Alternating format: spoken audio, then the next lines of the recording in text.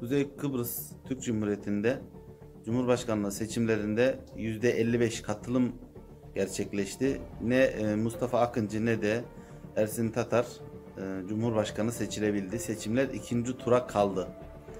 Seçimden sonra ilk turdan sonra Mustafa Akıncı Türkiye Cumhurbaşkanı yani Recep Tayyip Erdoğan'ı dolayısıyla Türkiye'yi, Ankara'yı tehdit ediyor. Ee, Kıbrıs'ın Cumhurbaşkanını Ankara belirleyemez. Yani siz kim oluyorsunuz? Ankara belirleyemez. E, Kıbrıs'ın e, Cumhurbaşkanını Kıbrıs Türk halkı belirler diye bir açıklamada bulunuyor. Kendisinin Türkçe konuşmaktan başka Türklükle hiçbir alakasının olduğunu sanmıyor aslında. Sadece Türkçe konuşuyor. Ondan geri kalan Türk olduğu bile belli değil. Şimdi Kıbrıslı kardeşlerimize sesleniyorum buradan. Bakın 46 yıl önce e, Kuzey Kıbrıs'ta Türk ailelerini Makarius ve yandaşları gece evlerine baskın düzenleyerek 5 kişi 7 kişi komple bir aile öğretmen olsun tüccar olsun ne kadar hani subay olsun bir gecede baskın düzenleyip bütün aileyi katlediyorlardı. Hepsini banyoya, küvete, tuvalete cesetleri dolduruyorlardı. Bütün manşetlerde komple bir aile yok oldu. Bir aile daha yok oldu. Makarius ve adamları bir aileyi katletti diyerek 46 sene önce gazete manşetlerinde yani söylemeye dil varmıyor. Türk ailelerinin katliamlarını biz hep gördük. Resimlerini hala arşivlerimizde var. Şimdi eğer ki Kıbrıs'tan Türk askeri tamamen çekilsin 46 sene önce yaşamış olduğunuz olayların hepsini bugün yine yaşayacaksınız. Hepsini tamamını. Nasıl bugün Suriyelileri Akdeniz'de botlarını patlatarak onları kendi Akdeniz'de boğularak ölmelerine hani e, izin verip onların ölümlerine yol açıyorlarsa geri nasıl itiyorlarsa Türkiye'ye doğru aynısını Kuzey Kıbrıs'taki Türklere de yapacaklar. Artık oradan hangi botla hangi salla kaçmaya çalışırsınız, Türkiye'ye ulaşmaya çalışırsınız. Artık cesediniz bulunur mu bulunmaz mı bunu kimse bilemez.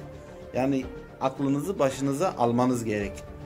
Hani biraz önce de dedim ya Türk olduğu Mustafa Akıncı'nın konuştuğu Türkçeden hariç hiçbir e, imare göstermiyor. Adam seçimlerden iki gün önce ya eğer diyor Yunanistan'la iyi geçinmek istiyorsak e, Yunanistan'dan aldığımız toprakları geri iade etmemiz gerek.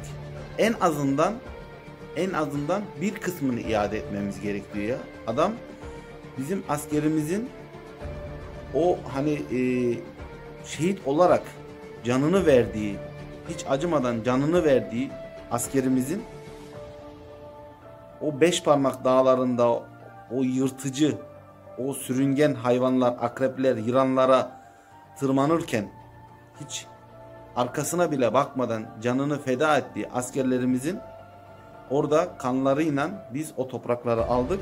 Şimdi sırf Yuna- Yunanistan'a sempati birazcık iyi görelim diye onlara biz toprak verecek değiliz. Hem bizden bir çakıl taşı bile alamazlar. Ne demek toprak vermek yani? Biz hani bir keyif için mi Kıbrıs'a hareket düzenledik 46 yıl önce? Biz hani bir gezintiye çıkalım mı dedik de oraya hani hareket düzenledik. Oradaki Türk kardeşlerimizi katlediyorlardı. Bugün bakın Türkiye Cumhuriyeti olmasa size Kıbrıs'ta bir tek nefes bile aldırmazlar. Dünyada hangi ülkede var Türkiye'den başka sizi orada tanıyan, destekleyen? Türkiye'nin sırtına 50 yıldır 50 yıldır Türkiye'nin sırtına kambursunuz. 50 yıldır kambursunuz. Her şeyinizi Türkiye sağlamakta.